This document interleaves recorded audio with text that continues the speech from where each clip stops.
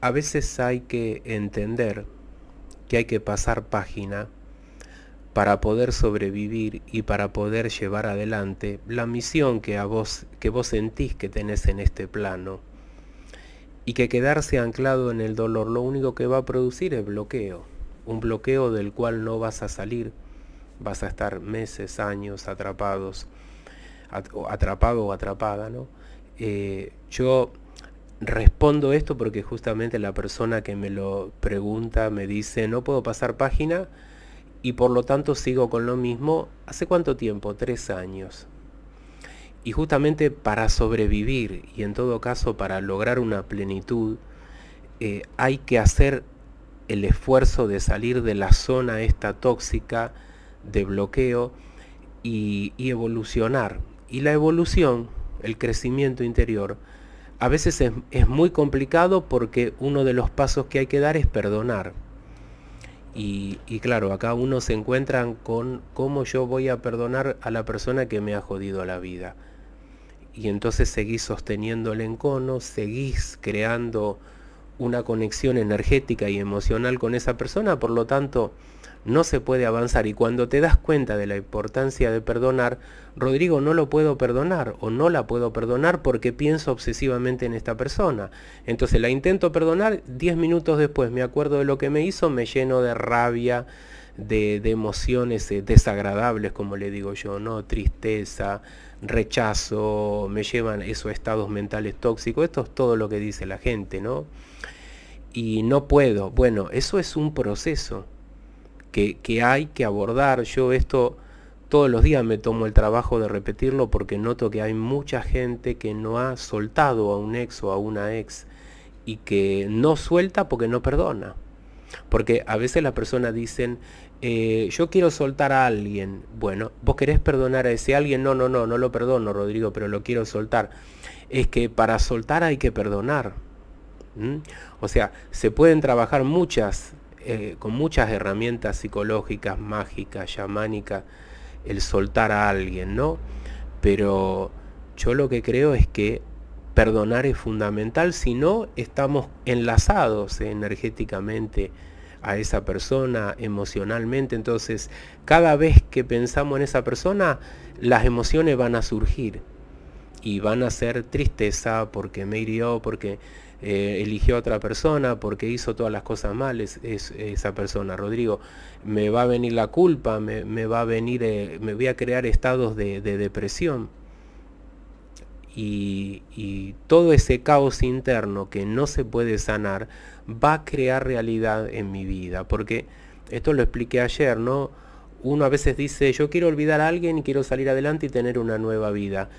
Claro, conscientemente vos decís eso, pero tu caos interno se está haciendo cargo de la situación y está creando más bloqueo y eventos y, situaciones que están en ese mismo nivel de vibración, en ese mismo nivel de carencia.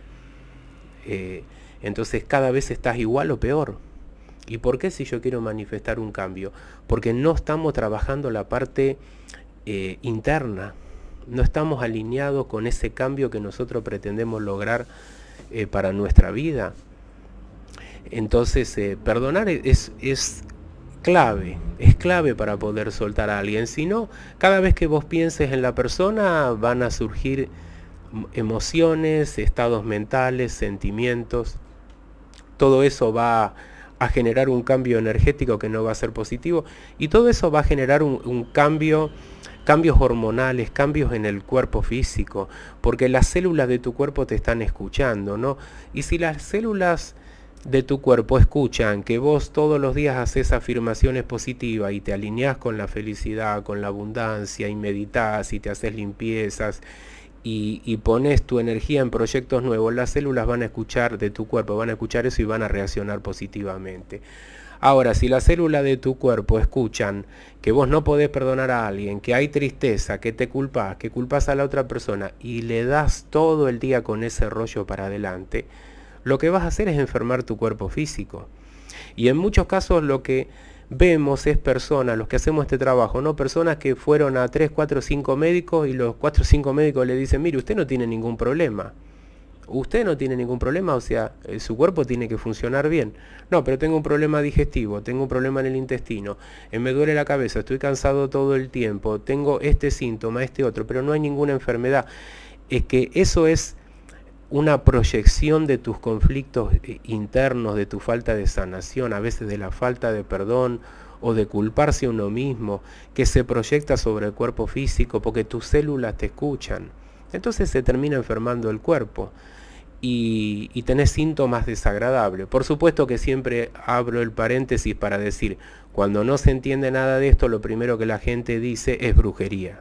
Que ese es el gran error en todo esto, ¿no? Que cometen el 90% de los brujos. Para mí todo es brujería, todos son los muertos, las entidades, las larvas pero eso lo único que logra es que la persona no se haga responsable por su propio proceso de sanación y siempre culpe a los espíritus, a los fantasmas, a los muertos, a las entidades, a los orillas, etcétera, etcétera. Y somos en la mayoría de los casos nosotros mismos los que nos creamos el bloqueo, el problema por no poder evolucionar, porque nos cuesta crecer, porque nos da miedo crecer, por múltiples factores. Entonces las células de tu cuerpo te están escuchando. ¿Cuál es el mensaje que vos estás transmitiendo? No puedo perdonar, no quiero perdonar o lo voy a intentar. Y, ahí vos vas a, a, programar las células de otra manera, vas a transmitir otro mensaje, un mensaje más positivo y tu cuerpo físico va a reaccionar y tus cuerpos energéticos también van a reaccionar beneficiándose y por lo tanto vos vas a traer una realidad más, más cargada de buena vibra no sé, espero que se entienda la respuesta a esta.